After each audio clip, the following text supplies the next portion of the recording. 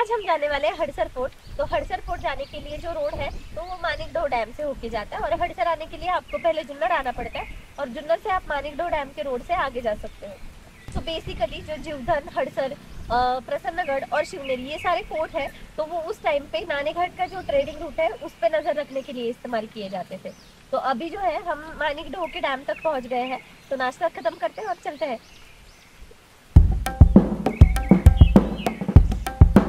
फिर मानिकडो डैम के रास्ते से शिवेचिवाड़ी राजूर, हड़सर इन गाँवों से आगे बढ़ते हुए हम पहुँच जाते हैं पेठे चिवाड़ी, जो हड़सर फोर्ट का बेस विलेज है। तो मानिकडो गाँव से आगे आने के बाद आपको पेठी चिवाड़ी नाम का एक गाँव लगता है और यहाँ से आपको अंदर जाना है। तो अभी हम पेठे चिवाड़ी गाँव से आगे आ गए हैं। यहाँ पे आपको कुछ गाड़ियाँ पार्क दिखाई देगी। और यहाँ से हमें आगे जाना है। यहाँ पे दो तीन दिन से बहुत ज़्यादा बारिश हो गई है और उस वजह से रोड बहुत ज़्यादा स्लिपरी हो गया है, बहुत ज़्यादा कीचड़ है। आप देख सकते हो। तो यहाँ पे अगर आप आ रहे हो तो बहुत संभल के चलना है। तो कभी खेतों के बगल में से, कभी कीचड़ में से तो कभी हरियाली के बीच में से और इन छोटे छोटे झरनों को पार करते हुए हम पहुँच जाते हैं महादेव जी के मंदिर के पास।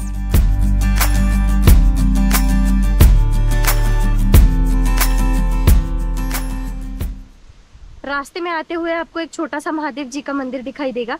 वहाँ से आगे आते ही आपको ऐसे जंगल के रास्ते से आगे होके आना है और आपको ऐसा बोर्ड दिखेगा। तो ये बोर्ड से आगे हमें जाना है। तो इस बोर्ड के साथ साथ यहाँ पर और एक बोर्ड होता है, जिससे हमें ये पता चलता है कि हड़सर फोर्ट का और एक नाम है, पर्वतगढ़।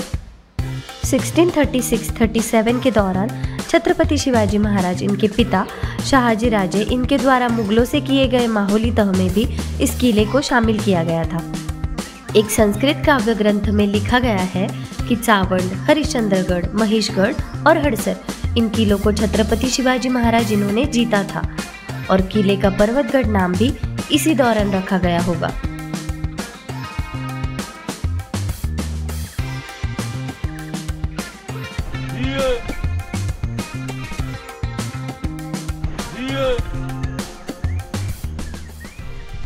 तो हमने बहुत सारा जंगल का और पहाड़ का रास्ता कवर कर लिया है।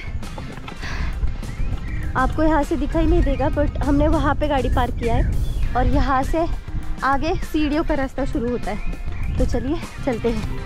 1670 के सेलहर जीत के बाद शिवराय ने हरिश्चंद्रगढ़ जीवधन के साथ हरसर किला भी जीत लिया और फिर 1702 में ये किला औरंगज़ेब के पास चला गया। यहाँ से लंबी सीढ़ियों का रास्ता शुरू हो रहा है। और आगे गेट जैसा कुछ है तो वहाँ पे जाके देखते हैं वहाँ पे क्या है एग्जैक्टली चलिए, चलते हैं।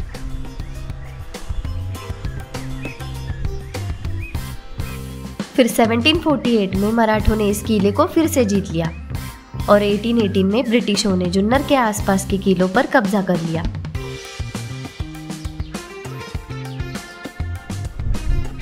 यहाँ से ऊपर आने के बाद आपको यहाँ पे फोर्ट का मैप दिखाई देगा। और यहाँ से आगे जाने के बाद आपको महादरवाजा लगेगा।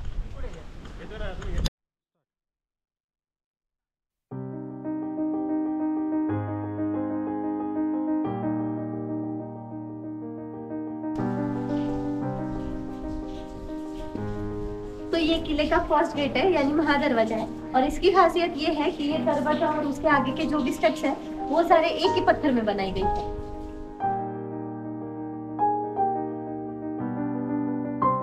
महादरवाजा और उसकी आगे की सीढ़ियों को एक ही पत्थर में बनाया गया है और इसीलिए इसे मोनोलिथिक स्टोन काफ गेट भी कहा जाता है।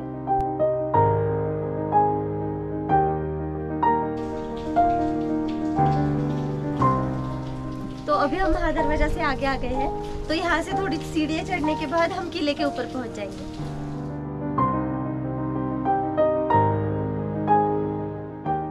महादरवाजा से आगे बढ़ते हुए हमें फिर से एक मोनोलिथिक स्टोन स्ट्रक्चर दिखाई देता है। ये जो सीढ़ियाँ आप देख रहे हो, ये सारी एक ही पत्थर में बनाई गई है।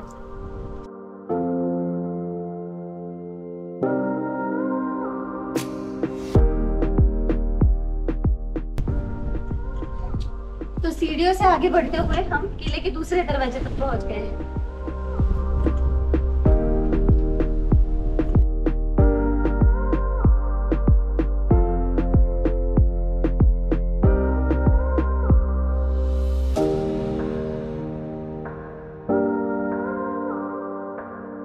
महादरवाजा और दूसरा दरवाज़ा मध्ययुगीन वास्तुकला का एक बेहतरीन उदाहरण है।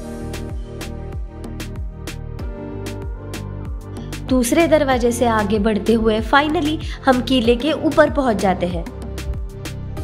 अभी हम किले के ऊपर पहुँच गए हैं और यहाँ से मानिकडो डैम का व्यू कुछ इस तरीके से दिख रहा है।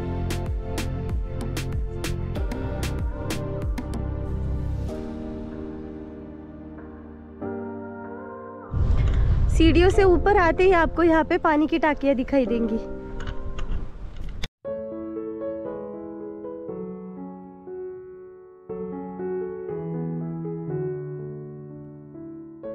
तो अभी हम आगे जा रहे हैं और किले का जो मेन अट्रैक्शन है कुछ तोहफे रखी गई है और एक महादेव जी का मंदिर है तो हम वो देखेंगे।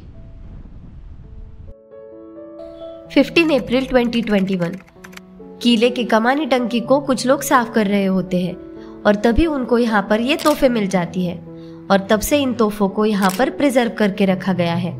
इनमें से एक तोहफ मकरमुख की है।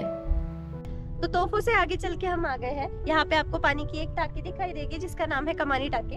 तो कमानी टाके के उस तरफ़ है धान्य कोठर, और इस तरफ़ शिव मंदिर है। तो हम पहले जाएँगे धान्य कोठर देखने, और फिर चलेंगे शिव मंदिर देखने। तो यही वो कमानी टाकी है जिसे साफ़ करते हुए तोहफे मिली थी। धान्य कोठार में कुछ बड़े बड़े रूम्स है, जिनका इस्तेमाल अनाज को प्रिजर्व करने के लिए किया जाता था।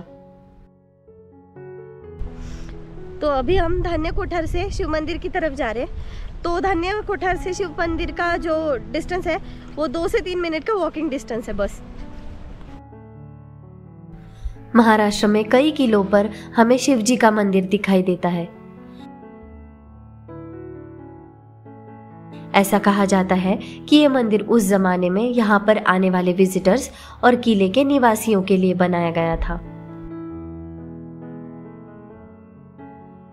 तो ये है महादेव जी का मंदिर और जो खुंटी की वाट कहते हैं तो वो थोड़ा सा आगे जाने के बाद यहाँ से दिखाई देती है। तो वीडियो को हम यही एंड करते हैं। अगर आपको ये वीडियो पसंद आया है तो लाइक और शेयर ज़रूर करना। और सब्सक्राइब करना मत भूलना। Okay bye